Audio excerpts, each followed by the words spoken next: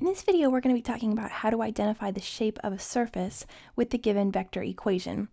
And with these particular problems, we've got two of them. We're going to look at the surface of the vector equation given by r of the parameters u and v, which is going to be equal to quantity u plus v times i plus quantity 3 minus v times j plus quantity 1 plus 4u plus 5v times k. We're going to start with this example and then we're going to look at this one as well to give you a couple ideas about how to go about identifying the surface of these vector equations. So the first thing we want to do with these type of problems is identify parametric equations of the surface. And the way that we're going to do that when it comes to a vector equation in the form r of uv is we're going to take the coefficients on our i, j, and k values here. So we're going to say that x is equal to the coefficient on our i term, so x is equal to u plus v, that y is equal to the coefficient on j, 3 minus v, and that z is equal to the coefficient on k, 1 plus 4u plus 5v. Once we have parametric equations that define the surface, what we want to do is eliminate our parameters. So we know that our parameters are u and v because we have r of u and v here. So we want to eliminate u and v and get an equation in terms of only x, y, and z.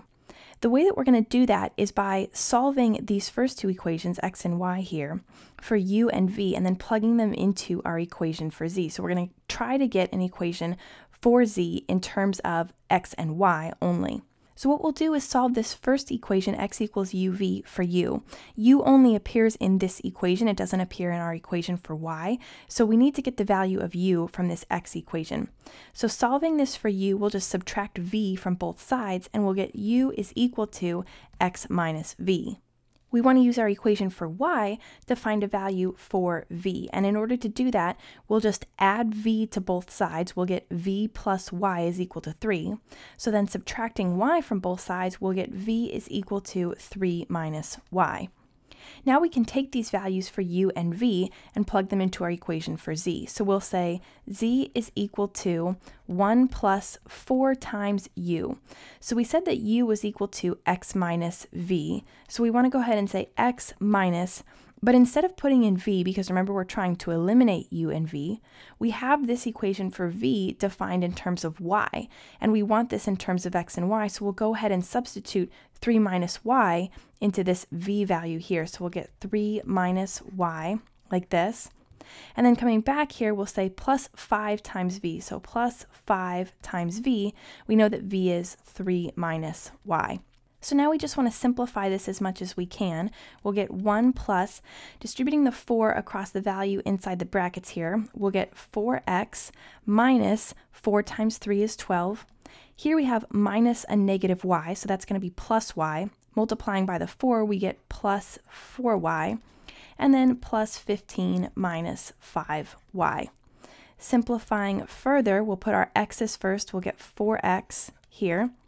Then we have plus 4y minus 5y is a minus y, so minus y. And then 1 minus 12 plus 15 is a plus 4. Now what we can do is arrange all of our variables on one side and have our constant on the other. So we'll subtract z from both sides and subtract 4 from both sides, and we'll end up with 4x minus y minus z is equal to negative 4. And what we can tell from looking at this equation is that we have the equation of a plane here because we have all linear variables. x, y, and z are all first degree linear values. We don't have any squared terms here. So we know that this is the equation of a plane. At this point, we could say that the surface given by the vector equation r of uv is a plane, but we'd like to give more information about the plane if we can.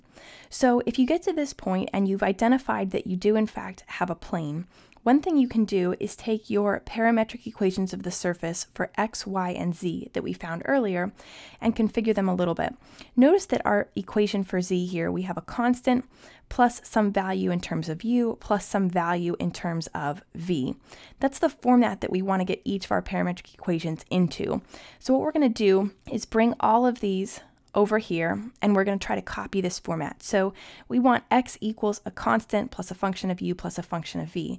So we'll say x equals, the only constant we have here is a plus 0, so we're going to get 0 plus, and we already have u plus v, so 0 plus u plus v. We'll say y is equal to, here we already have the 3, the constant, so we'll say 3.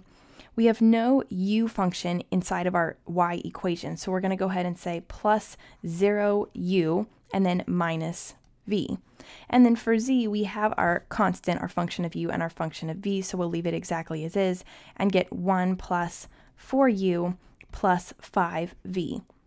The reason that we wanted to get our parametric equations into this format is because now we can easily pull information out of the right-hand sides here to give more information about the plane. We know that the plane runs through the point, plane through the point 0, 3, 1, and we pull that directly from our constants here, 0, 3, and 1. We also know that the plane contains the vectors 104, 104, which we get from taking the coefficients on our u functions here. So we have 1, 0, and 4. And we know it also contains the vector 1, negative 1, 5, which we get by taking the coefficients on our v functions. So we get 1, negative 1, and 5, like this. So by putting these parametric equations into this exact format here, constant plus function of u plus function of v, we can identify that the plane runs through the point given by each of the three constants and contains the vectors given by the coefficients on the u and v functions here. Now let's go ahead and look at another example where we don't just have linear values of our parameter variables u and v. In this example, we have the vector equation r of st, which is given by these component values s, t, and t squared minus s squared. So this could also be written s times i plus t times j plus quantity t squared minus s squared times k. So we could have been given this in this form. We also could have been given r of uv in this format here. Either way, it's equal to the same thing. These are just coefficients on i, j, and k, respectively. So we're going to do the same thing. We're going to find parametric equations of the surface by pulling out each of these components. So we're going to say x is equal to s, y is equal to t, and z is equal to t squared minus s squared. And again, we want to eliminate the parameters s and t and get an equation for z in terms of x and y only. These parametric equations are easier because we already have x equals s and y equals t, and those are easily defined. So we have z equals, we know that t is equal to y, so we're going to plug y in for t and get y squared. And we have x equals s, so we're going to plug x in for s and get minus x squared. Now this is where your knowledge of quadric surfaces really comes into play. We want to be able to recognize at this point that this equation we have here for z is very similar to the standard equation of a hyperbolic paraboloid.